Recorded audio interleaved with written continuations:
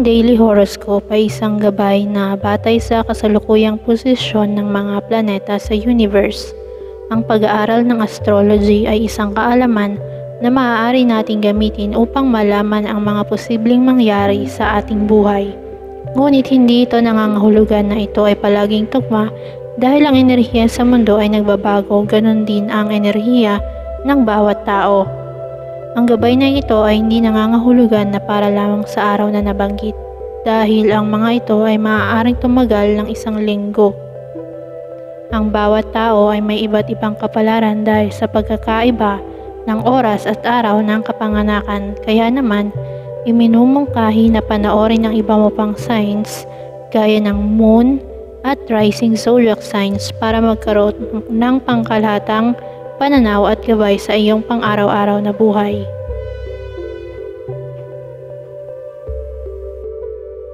Kung bago ka sa aking channel, click subscribe para sa daily guidance at mag-like and comment kung ito ay na-appreciate mo. Salamat!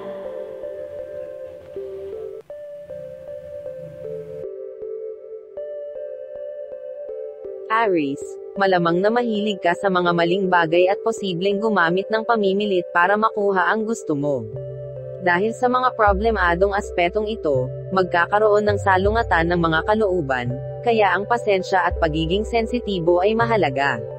Piliin ng mabuti ang iyong marka bago magsimula sa isang malalim at makabuluhang pag-uusap, dahil maaari itong mauwi sa mga lugar na hindi mo pinlano, na magre-resulta sa salungatan pinakamainam na alisin ang iyong mga dogmatikong pananaw dahil magdudulot lamang sila ng mga problema sa pagitan mo at ng taong talagang gusto mo. Ang mga negosasyon sa real estate ay dapat na maingat na harapin. Huwag maliitin ang mga pagkakataong mabubuhay sa pananalapi ngayon dahil maaari mong mawalan ng magandang pagkakataon na kumita ng karagdagang pera dito. Kailangan mong maging malakas sa iyong paghuhusga ngayon. Lucky color ay blue, Lucky numbers ay 2 at 3. Taurus, magkakaroon ng patuloy na pagbabago sa iyong buhay tahanan sa mga darating na araw. Pinakamainam na harapin iyon ng epektibo kung ikaw ay nasa iyong mga daliri. Pangunahing ito ay dahil sa labis na pagpapalawak ng iyong sarili sa lipunan at pagtama sa bayan ng husto. Lahat ay humihiling sa iyo. Nalilito ka ba kung paano ka dapat tumugon? Nararamdaman mo ba na pinalitan mo ang isang tao sa pamamagitan ng paggawa ng pabor sa kanila? Magagawa mo lang ang iyong makakaya. Kung hindi ka mapalagay, simulan ang pag-set up ng ilang bagong alituntunin. Ang isang matarik na pagtaas sa iyong buwan ng gastos ay magpapanatili sa iyo sa ilalim ng maraming stress ngayon. Kahit na nakakakuha ka ng malalaking numero, mukhang nahihirapan ka sa pag-iipon ng sapat na pera. Siguro dapat kang huminto sa gastungkol sa paggasta. Lucky color purple. Lucky numbers ay 9 at 13. Gemini, magtutuon ka sa pagpapakita ng iyong sarili sa ibang liwanag. Nakatutuwang tuklasin kung paano nagdudulot ng iba't ibang resulta ang iba't ibang hitsura at kulay. Nagre-react ang mga tao sa iyong pananamit at pananalita. Napakahalaga ng hitsura ngayon, lalo na sa mas maraming kompetisyon sa larangan. Malamang na medyo sensitibo ka sa mga opinyon ng iba. Kasabay nito, nagkakaroon ka ng higit na kagandahan at mga kasanayan sa lipunan. Nagagawa mong gumawa ng ilang mga alon. Ang kasiyahan sa isang sandali kasama ang isang espesyal na kaibigan ay susuportahan ang iyong mga mod. Ang mga pakikipagsosyo na gagawin mo ngayon ay magdadala sa iyo sa unahan sa pagsasakatuparan ng iyong pangmatagalang layunin sa pananalapi. Sa makatuwid, ang isang panukala sa pakikipagtulungan ay dapat na seryosohin ngayon. Ang mga pagbili na may kaugnayan sa stock ay dapat na iwasan sa ngayon. Lucky color orange. Lucky numbers ay 1, 3 at 4. Cancer, medyo hindi ka nasisiyahan sa kalidad ng iyong trabaho. Sa ngayon, parang mas detail-orientated ka at self-critical. Dapat mong patuloy na pagbutihin ang iyong sarili, ngunit huwag kalimutan na ang pagpapahalaga sa sarili ay mahalaga. Ito ay malusog na bumuo ng iyong pagpapahalaga sa sarili sa pamamagitan ng pagkilala sa iyong mga tagumpay. Subukang limitahan ang iyong komunikasyon pansamantala at obserbahan ang reaksyon ng iba bago gumawa ng anumang pangako. Mayroon kang mas mataas na kakayahan upang idirekta ang mga bagay kahit alam mo ito. Sa pananalapi, ang araw na ito ay magiging maganda dahil ang lahat ng iyong mga plano ay gagawin tungkol sa paggawa ng mga bundle ng pera para sa iyo. Ang mga layunin sa pananalapi ay matutugunan ng kasiya siya salamat sa iyong nakatuong pagsisikap at matalinong pagpaplano. Kailangan mo lang manatiling tiwala sa sarili mo. Lucky color ay red, lucky numbers ay 3, 4 at 9. Leo, ang mga bagay ay maaaring nakabitin sa limbo sa kasalukuyan. Maraming suspense at pagkabalisa ang bumabalot sa kinalabasan ng isang bagay hanggang sa makatanggap ka ng balita, magpahinga at abalahin ang iyong sarili sa ibang bagay.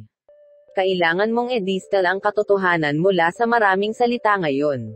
Ikaw ay tanga sa iyong mga pagtatasa huwag maglaro ng mga paborito. Mayroon kang ilang natatanging kasanayan sa lugar ng trabaho at maaaring makatulong sa isang tao sa pagkompleto ng isang proyekto. Huwag manatiling isla sa iyong sarili maaring nahihirapan kang pakawalan ng isang sitwasyon sa kasalukuyan. Ang mga kita sa pera ay isang extension ng iyong pagsusumikap at paggawa. Kaya kung mas maraming pagsisikap ang gagawin mo, mas mahusay na mga resulta ang iyong aanihin. Kailangan mong gumawa ng dagdag na milya sa iyong mga input upang makakuha ng ilang gustong resulta. Sa ngayon, iwasan ang anumang malalaking pamumuhunan. Lucky color ay gold, Lucky numbers ay 1, 6 at 7. Virgo, lumalabas ka sa isang estado ng pag-igting. Ito ay nauugnay sa mga naisip na problema na nauugnay sa iyong buhay tahanan. Aayusin ang isyo ng walang intervention. Gayunpaman, maaaring nag-aalala ka at hindi mo maalis ang ilang mga nakakatakot na iniisip.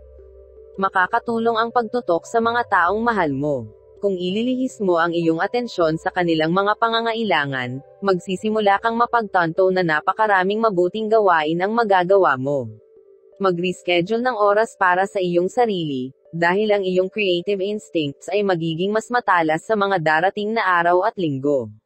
Ang mga prospect ng negosyo sa ibang bansa ay mukhang talagang namumukod tangi sa ngayon kung magagawa mo sa anumang paraan na magsimula ng isang pakikipagsapalaran sa negosyo gaano man kaliit, huwag mag-aksaya ng isang segundo dahil gagawa ka ng maraming benepisyo.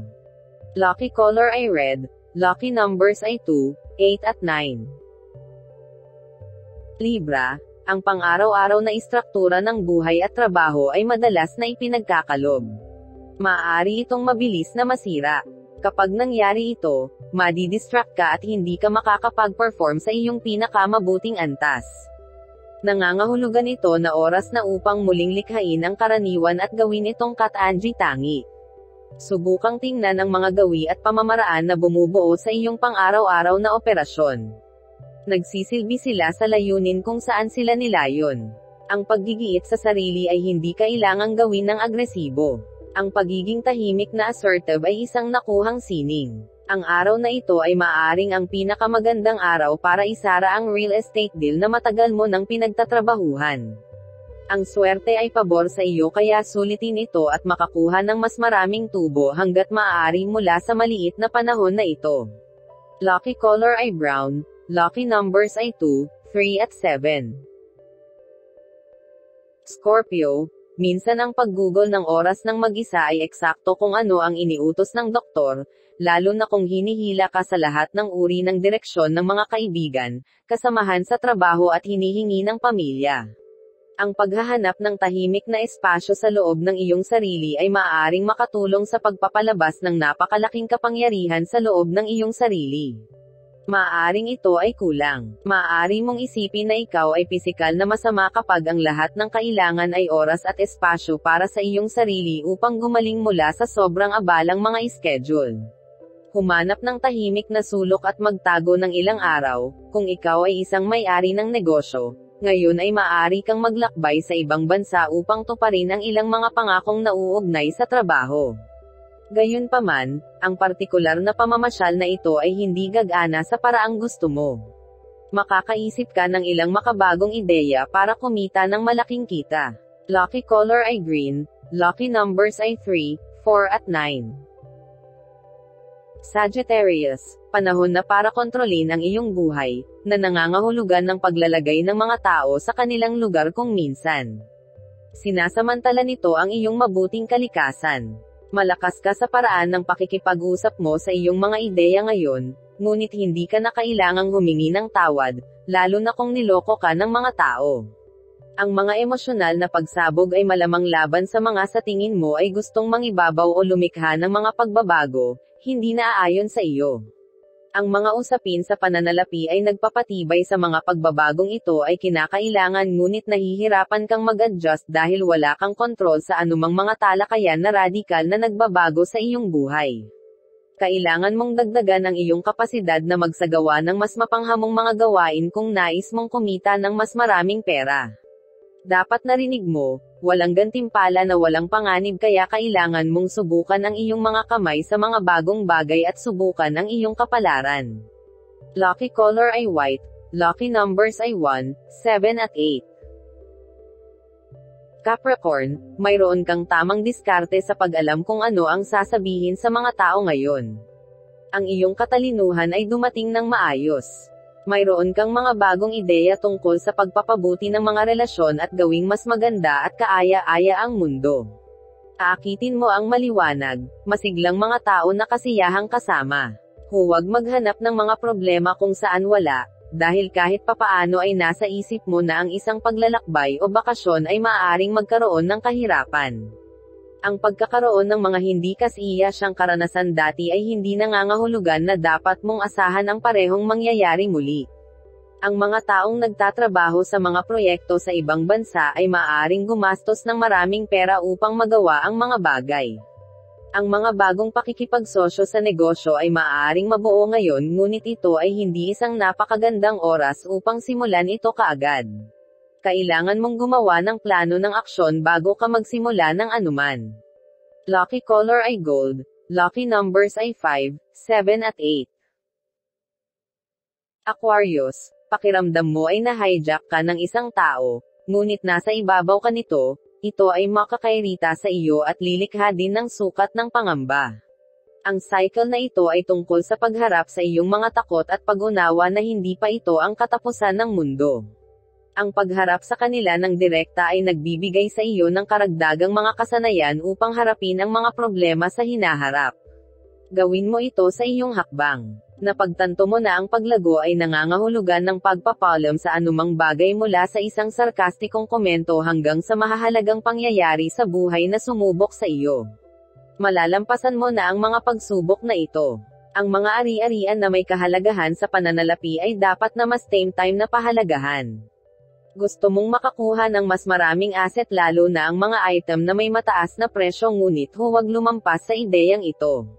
Ang mga pamumuhunan sa real estate ay dapat itigil sa ngayon.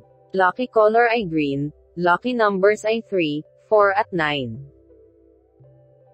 Pisces, ang progresibong pag-iisip ay hindi madali kapag naipit ka sa isang pangkat ng mga konserbatibong tao sa kanilang mga pananaw. Nakatuon ka sa pagtataas ng iyong sarili sa lipunan upang maging mas komportable sa mga tao. Naghahanap ka ng mga taong katulad ng pag-iisip na sensitibo at tumutugon sa iyong kasalukuyang yugto ng pag-unlad. Upang gawin ito, dapat kang maging handa na makilala ang iyong sarili mula sa kung ano ang dati. Pangalawa, kailangan mong magkaroon ng lakas ng loob na lumayo at magsimulang muli sa mga bagong kaibigan. Maaring gusto mong gumastos ng malaki sa palamuti sa bahay ngayon kaya huwag mong pigilan ang iyong sarili at ipagpatuloy ito. Kayang-kaya mong gumastos ayon sa iyong pinili paminsan-minsan. Sa pangkalahatan, ang iyong sitwasyon sa pananalapi ay mukhang mas mahusay kaysa dati at sa lalong madaling panahon makakaisip ka ng isang paraan upang maalis ang iyong mga utang. Lucky color ay yellow, lucky numbers ay 2, 5 at 8.